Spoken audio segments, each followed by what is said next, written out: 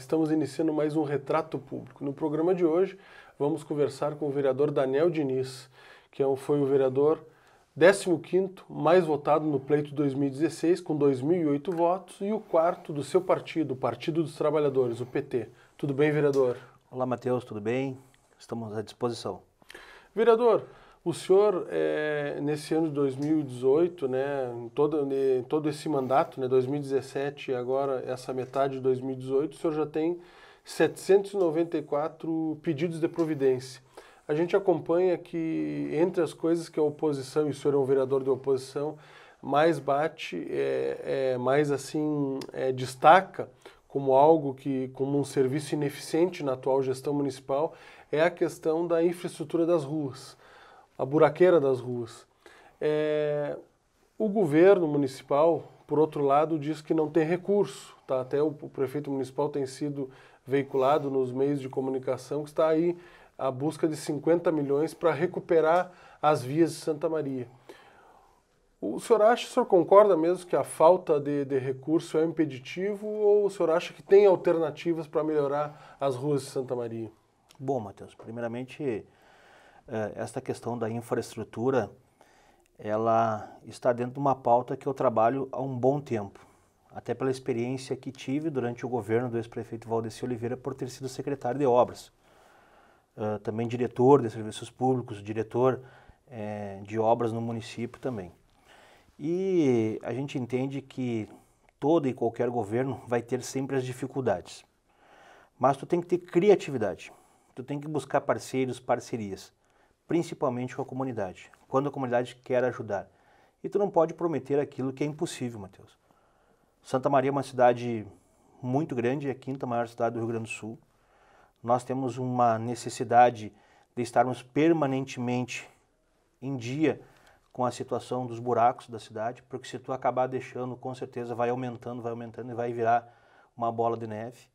E nós entendemos que durante a nossa gestão nós fizemos muita parceria, buscamos parceiros para ajudar, fomos criativos.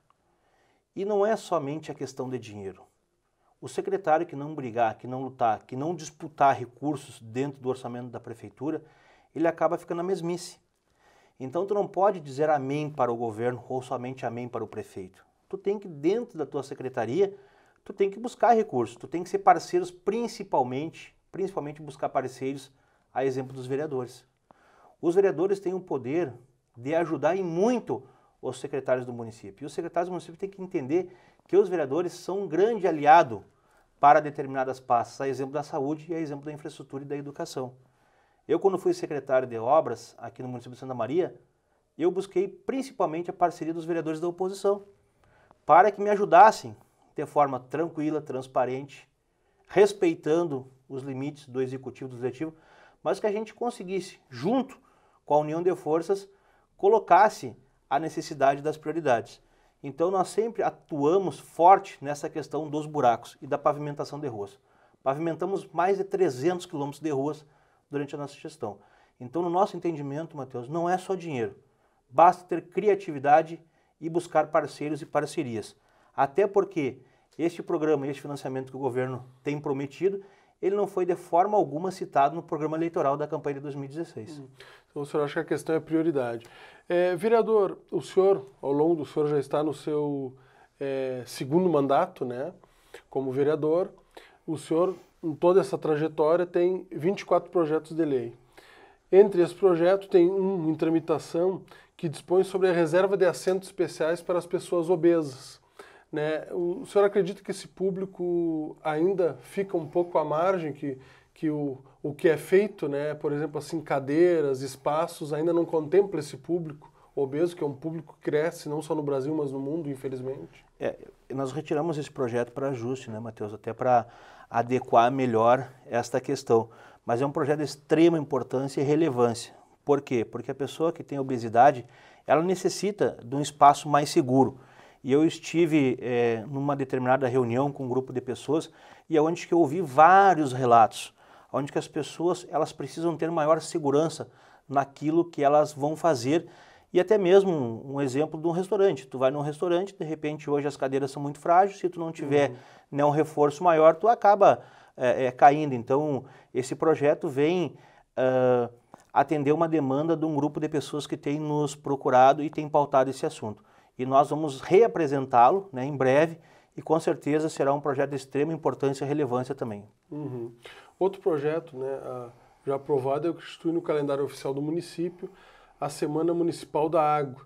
Né? O, é, a preservação de rios também é algo importante, né, vereador?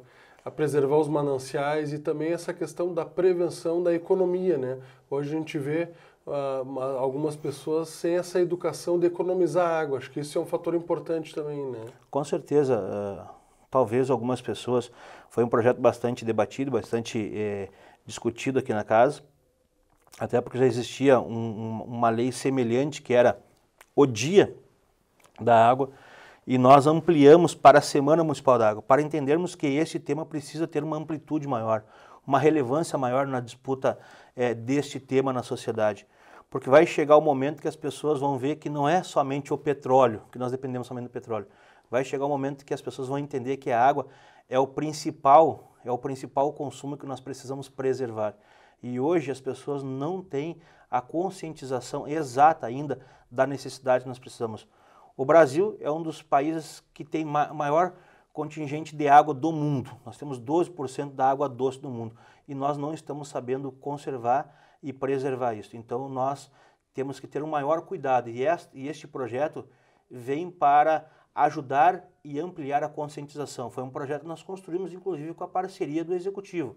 Nós fomos até a Secretaria de Meio Ambiente, tratarmos com a secretária e ex-colega Sandra Rebelato o que nós poderíamos fazer para ajudar o meio ambiente. Foi a, a partir daí que nós tivemos essa iniciativa em conjunto também com a Corsã. É, é, é, essa semana né, de, da água, ela é comemorada na semana anterior ao dia 22, que é o dia da água, é isso, né, isso vereador? Aí, isso aí. Vereador, que é o dia mundial, né? Um dia mundial da água. É, vereador, também o senhor incluiu no calendário oficial do município é, o encontro anual dos ex-atletas do Inter de Santa Maria, né?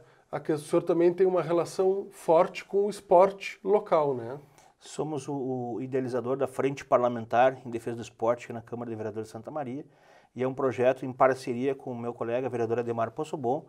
Outros vereadores aqui também têm uma grande afinidade com o esporte de Santa Maria e nós entendemos que é preciso cada vez mais fortalecermos a disputa também por recursos e iniciativas que voltam, que voltam a defender o esporte de Santa Maria. E, e este projeto vem reconhecer né, pessoas que deixaram um grande legado aqui para Santa Maria, que são ex-jogadores profissionais do nosso de Santa Maria, que merecem ser lembrados na nossa história. Por falar em reconhecimento, né, o senhor tem é, dois é, projetos de lei que reconhecem pessoas que tiveram uma trajetória e uma contribuição com Santa Maria, né? É, o senhor denomina, né, num desses projetos, de Sandra Feltrin, o Centro de Artes e Esportes Unificados do Céu, localizado na Avenida Malmon Filho, né, no núcleo central do bairro Santa Marta, e também denomina de Ivanise Jean de Jesus, a creche municipal do loteamento Cipriano da Rocha. É importante reconhecer essas pessoas que de alguma forma contribuíram muito com o município, né, vereador? É importante e emocionante, Matheus. Por quê? Porque são duas pessoas que marcaram história também na vida da sociedade santamarense. Das pessoas mais simples. A Sandra foi uma pessoa que começou muito jovem, né? A Sandra foi uma militante, a Sandra foi uma defensora dos direitos humanos, dos direitos sociais. É uma pessoa que foi candidata a, a prefeita do município de Santa Maria, teve uma grande votação, foi militante também do nosso Partido dos Trabalhadores, depois se filiou o PSOL e a Sandra tem uma história também em defesa do servidor público, né? Uma pessoa aguerrida, abnegada e tragicamente ela acaba nos deixando cedo, né? Ela teve um problema de saúde grave, é, não conseguiu superar e nós conversando com a comunidade dos moradores da região oeste, conversando com várias lideranças, surgiu a iniciativa e a ideia de nomear esta, este importante espaço público lá na região da Nova Santa Marta, dando o nome de, de Sandra Feltrin, né, em reconhecimento a esse brilhante trabalho que ela uh, marcou em sua vida. Então, para mim, é muito importante, relevante Estou é, feliz por ter sido já aprovado esse projeto. Passei pelo local ontem, né? E em breve, se Deus quiser, esperamos que o executivo coloque lá uma placa bem grande, denominando aquele espaço lá de Sandra Feltrin, em reconhecimento a toda a luta dessa grande guerreira. E a nossa amiga Ivanise, que também foi uma promotora de justiça, uma pessoa abnegada, aguerrida, uma pessoa dedicada, comprometida, que adotou a nossa cidade. E ela também tem a defesa da criança, do adolescente. É uma pessoa que lutava pelos direitos. É uma pessoa que foi muito parceira, muito dedicada a esse trabalho também social. Era uma pessoa que estava sempre presente aqui na Câmara de Vereadores, buscando parcerias e parceiros.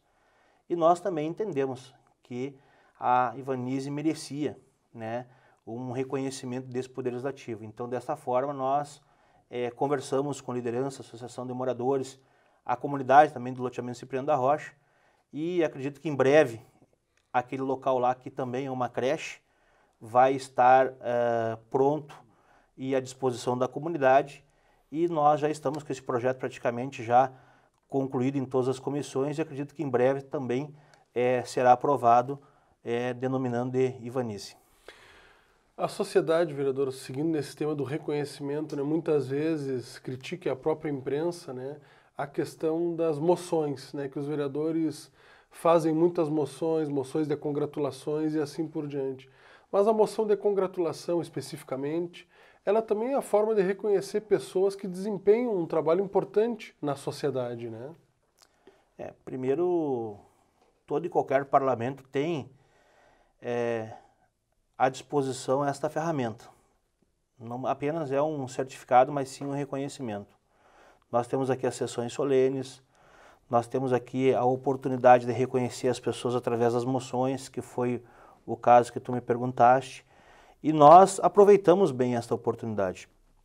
Nós reconhecemos pessoas de todos os setores, de todos os segmentos da sociedade. Nós tivemos aqui os quatro anos na primeira legislatura e já estamos praticamente no segundo ano da segunda legislatura e concluímos já uma série de reconhecimento de homenagens, porque nós entendemos que as homenagens têm que ser feitas em vida e para aquelas pessoas que se destacam.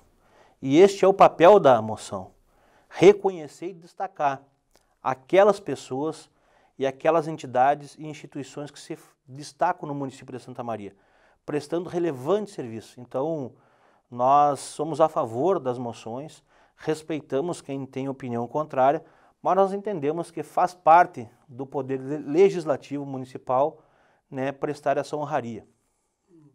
Vereador, nós vamos seguir tratando desses assuntos. O seu, as comissões que o senhor participa, também tem a comissão do plano diretor, né, que tem envolve uma polêmica local da questão da preservação do patrimônio, então nós vamos tratar desses assuntos, mas vamos tratar no segundo bloco, porque agora nós vamos fazer um breve intervalo. Não saia daí.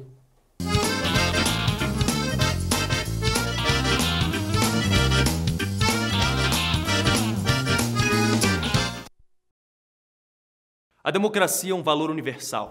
Baseado na livre vontade dos povos. De determinarem seus sistemas político, econômico, social e cultural. Embora as democracias partilhem traços comuns, não há um modelo único para a democracia. A democracia não pertence a nenhum país ou região. A democracia só existe com a participação de todos. 15 de setembro, Dia Internacional da Democracia. Justiça Eleitoral. A justiça da democracia.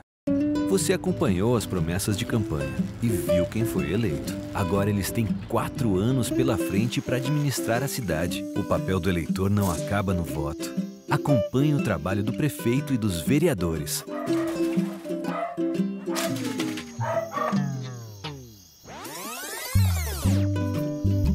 Cobre, fiscalize, participe. A cidade é sua. É de todos nós.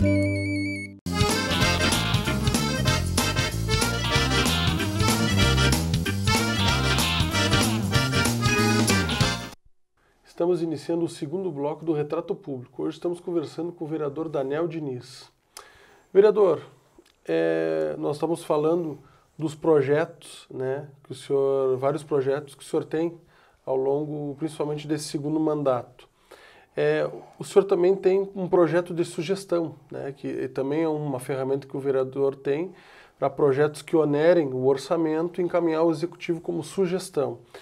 O senhor tem um projeto é, que se destaca, né, dentre os seus projetos de sugestão, que dispõe a isenção do pagamento da taxa de sepultamento para servidores públicos da Prefeitura de Santa Maria. É uma forma, é, a ideia do projeto é uma forma de desonerar um pouco mais o servidor, é isso? É uma forma de amenizar o sofrimento daquelas pessoas que se dedicam em defesa do município de Santa Maria. E esse projeto ele partiu até mesmo de uma ideia e de uma iniciativa de uma pessoa que desempenhou várias atividades aqui dentro da casa. O Juarez Marinho, né, foi motorista aqui na Câmara de Vereadores, é funcionário do município de Santa Maria ele veio a falecer. Então nós, é, através dos familiares, prestamos toda a nossa solidariedade, o nosso apoio à família e entendemos que é, as dificuldades são imensas para todos. E às vezes as pessoas pensam que o servidor público do município, por exemplo, tem um alto salário. E esta ideia essa iniciativa surgiu uh, de pessoas que também já nos procuraram. Então, é apenas uma forma uh, do poder público municipal também prestar um, um certo auxílio à família naquele momento de maior dificuldade. E esse projeto, a, a prefeitura já catou? Como é que está essa, essa questão ainda? Nós não recebemos resposta ainda do executivo, né? Nós já provocamos o executivo sobre isso, porque entendemos que é de extrema importância e relevância também. Uhum.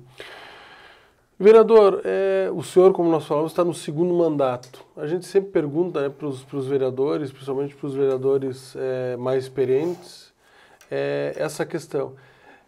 É mais complicado é, essa relação com o público, a, a, população, o eleitor, ele cobra mais é, quando o vereador, por exemplo, está no primeiro mandato iniciando ou já a partir do segundo mandato a cobrança é maior? O que, que vale mais? Assim, a, a, o que, que pesa mais nesse momento, depois que o vereador já está no segundo, terceiro, quarto mandato? A experiência ou a cobrança do eleitor? Olha, Matheus, é uma importante pergunta. Eu quero te confessar para ti que muitas pessoas elas acabam quando têm o interesse e a vontade e até mesmo a indicação do partido, da comunidade para ser candidato a vereador, elas pensam que vão chegar aqui e vão conseguir resolver todos os problemas da cidade. Mas nós temos o nosso regimento interno, nós temos os nossos direitos, os nossos deveres e as nossas obrigações. E a diferença é muito grande do primeiro mandato para o segundo. Está naquele quesito da aquisição da experiência. Então, o primeiro mandato, ele vem com aquele friozinho na barriga, né? E de tu buscar aprender, de tu tentar enxergar os atalhos. E acaba tu tentando, às vezes, uh, se comprometendo com coisas que são impossíveis. E acaba, muitas vezes, tu não conseguindo é, executar o verdadeiro papel do vereador. Fora isso, na minha primeira legislatura, eu passei por oito procedimentos de saúde. Então, foram, foi, foram quatro anos de muita dificuldade. Tivemos uma, uma diverticulite, tivemos uma infecção generalizada, é, passamos praticamente todo o primeiro mandato é, com graves problemas de saúde, que foi amplamente noticiado pela imprensa local. E a partir de agora, nesse segundo mandato, com mais experiência, com mais maturidade, a gente acaba assumindo grandes desafios. Né? Por exemplo, eu nunca fui presidente de nenhuma comissão durante os quatro anos. Nenhuma comissão, qual, qual for ela. E nessa segunda legislatura, eu já sou presidente, por exemplo, da Comissão de Constituição e Justiça e já assumi outros desafios importantes. A exemplo desta comissão especial que nós acabamos sendo proponente, que fiscalizou e acompanhou todo esse essa situação que envolve a construção da obra aqui da Câmara de Vereadores. Então eu te confesso para ti que a diferença é muito grande, muito, muito grande. Mas tu vai adquirindo experiência e com certeza quanto mais mandatos talvez o vereador tiver, mais experiente ainda o vereador é, vai ter. A experiência vai pesando ca vai, cada mandato. Vai, vai, vai pesando. O senhor falou né, da, da, CCJ, né, que a gente fala popularmente, que é como é conhecida a Comissão, Comissão de Constituição, Justiça, Ética e Decoro Parlamentar, a qual o senhor preside. Né? o senhor também integra, dentre as comissões permanentes, a Comissão de Direitos Humanos. Recentemente, a comissão de. o secretário, né, o Paulo Gama, que é o secretário da, da CCJ, né, é, e, e, o, senhor o senhor apresentou é, um relatório com todos os projetos né, que foram apreciados por essa comissão no primeiro semestre. Foram mais de 60 projetos, é isso, né, vereador? Isso, quase 70, né, quase 70. Se não estou enganado, 69. 68, é. é, 68, 69. É um trabalho muito importante. Né? Logo que eu cheguei na comissão, é, convidei o, o, servidor Paulo Gão para continuar desenvolvendo esse trabalho de extrema importância e relevância, porque, porque o vereador precisa de uma assessoria é, capacitada, experiente, dedicada, e acabamos, a cada projeto que entrava na comissão, nós demos um profissionalismo para o andamento dele. Então nós fizemos uma prestação de contas agora no, na volta do recesso de todo o trabalho da nossa Comissão de Constituição e Justiça, porque é uma comissão que ela trata da legalidade, da admissibilidade de todos os projetos e trata diretamente com a diretoria legislativa e com a procuradoria. Então, todos os projetos que são protocolados na casa, eles passam pelo crivo, passam pela análise, passam pela discussão da Comissão de Constituição e Justiça. É uma comissão muito importante na Câmara de Vereadores, é uma comissão extremamente relevante e que dá os subsídios até mesmo para as outras comissões e até mesmo para a decisão de muitos vereadores na hora de declarar o seu voto em plenário. Exato. E a comissão de outra comissão que o senhor integra, comissão permanente, né? São seis comissão, comissões permanentes. O senhor é, integra esse ano de 2018 duas, a CCJ e a Comissão de Direitos Humanos. E a Comissão de Direitos Humanos é, tem tratado de vários temas, né? Como relação é, por exemplo, ao feminicídio, a questão, por exemplo, do, dos direitos da pessoa com deficiência. Né? É uma comissão também importante que vem tratando dessas questões né, relacionadas ao município de Santa Maria. Eu tive a oportunidade, Matheus, de ser integrante desta comissão logo no meu primeiro ano de mandato. E te confesso que a gente não conseguiu né, dar uma atenção muito grande e levantar muitas pautas em relação a esta comissão. Mas neste segundo mandato, e já com a nossa experiência, a gente fez questão de participar da Comissão de Direitos Humanos, até mesmo pela defesa dos direitos das mulheres também. E essa questão que está muito em evidência é o feminicídio, principalmente agora no caso que aconteceu com a Isadora, que é uma menina, uma jovem aqui de Santa Maria, que acabou sendo violentada né, e morta. Então nós uh, estamos acompanhando, trouxemos essa pauta, aqui para a nossa comissão e somos parceiro também de todas as lutas, a exemplo da pauta da luta pelos direitos das pessoas com deficiência. Vereador, é, o senhor também participa de várias é, comissões especiais. É, uma comissão especial que o senhor presidiu e que há pouco encerrou os trabalhos foi a comissão conhecida popularmente Comissão do Plano Diretor, mas também tratou da lei de ocupação do solo e do código de obras do município e também, e, por conseguinte, da lei do plano diretor. É, essa, recentemente, um coletivo né, formado pelo, por arquitetos, pessoas do, do, do, do Conselho é, de Políticas Culturais do município, pelo jornalista é, Marcelo Canelas, entre outros, é, estiveram reunidos aqui na Câmara de Vereadores com os vereadores, fizeram algumas manifestações e eles alegam que o plano diretor aprovado pelo Legislativo, ele de certa forma não protege o patrimônio histórico do município, né, o centro histórico de Santa Maria. Eu queria saber qual é a sua visão sobre, sobre o que o coletivo alega. Bom, primeiro é extremamente importante esse debate democrático. Uh, precisamos resgatar um pouco da, do processo. Esse debate ele, ele acaba acontecendo a cada 10 anos do plano diretor, de atualizar as leis que norteiam o plano diretor, que é a lei do Código de Obras e Edificações, que também trata da lei de uso e ocupação do solo, a questão do perímetro urbano. E nós temos uma série de pré-reuniões até chegarmos o dia da votação. E isso acaba uh, tendo uma série de entidades e instituições que acabam se envolvendo com o executivo, que o executivo é o autor da proposta. Hum. Por quê? Porque detém o orçamento do município, é ele que faz a gestão do município. Então, antes do projeto chegar aqui na Câmara de Vereadores, uh, teve 16 reuniões preparatórias, Matheus. 16 reuniões com atas, com as pessoas e com as instituições que participaram. E as decisões, Matheus, no sistema democrático, ela vai pela maioria. Não adianta eu ter uma opinião e tu ter outra, vai valer a maioria.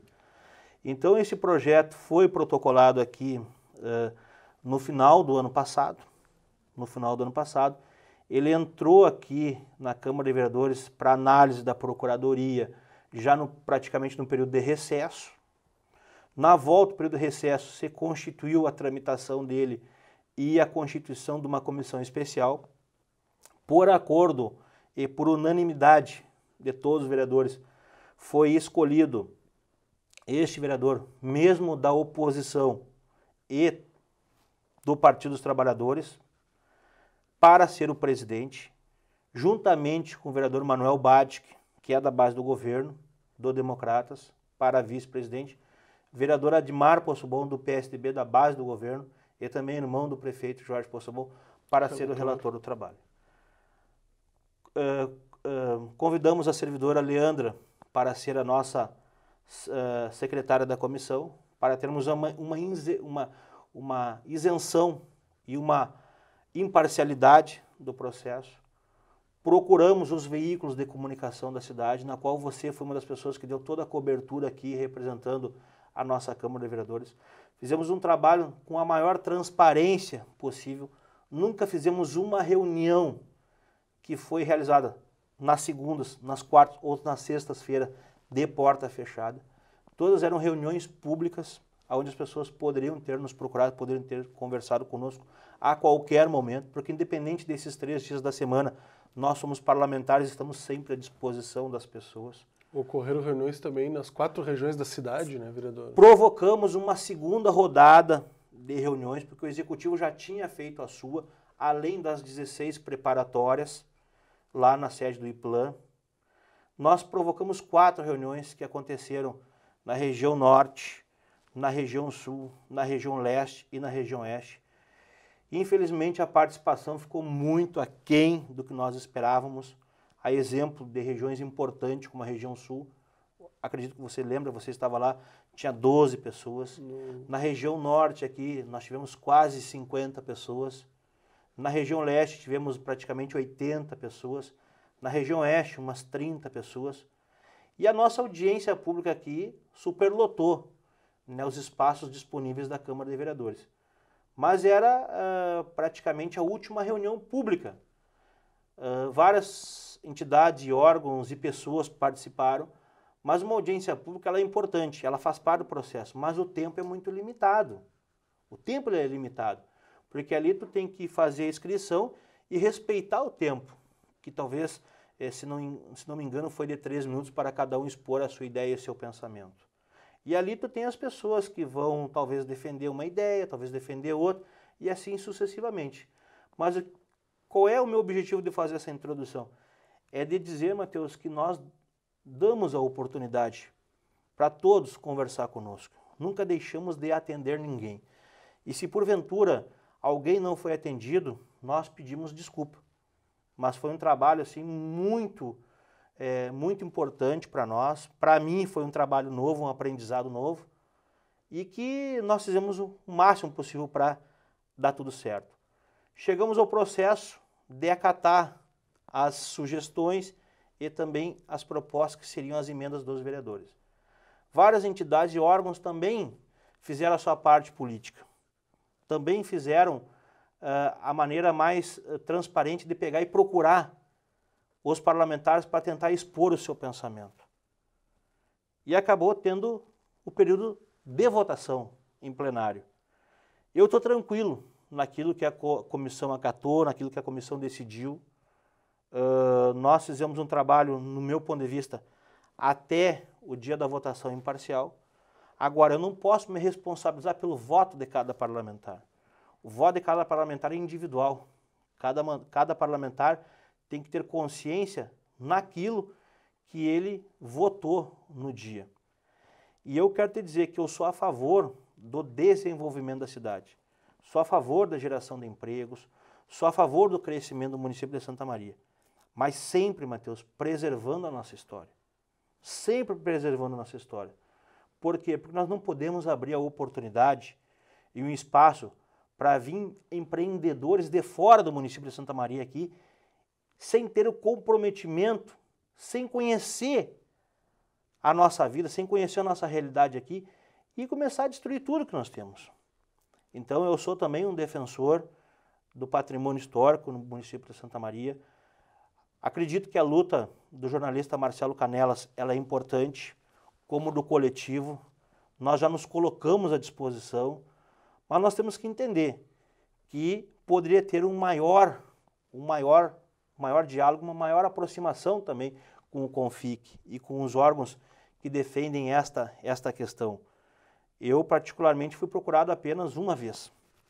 Então, o CONFIC é o Conselho isso, do Patrimônio Histórico isso. do município. Então, eu acredito, Matheus, que nós temos que olhar daqui para frente. Daqui para frente. O Executivo fez um decreto, amenizou a questão, mas a lei ela foi votada. Foram 20 vereadores, com a ausência do vereador Luciano, que estava justificado, foram 19 votos em plenário, o presidente não votava, só votaria em caso de desempate. desempate. Então são 19 vereadores que têm total responsabilidade, total responsabilidade naquilo que foi votado.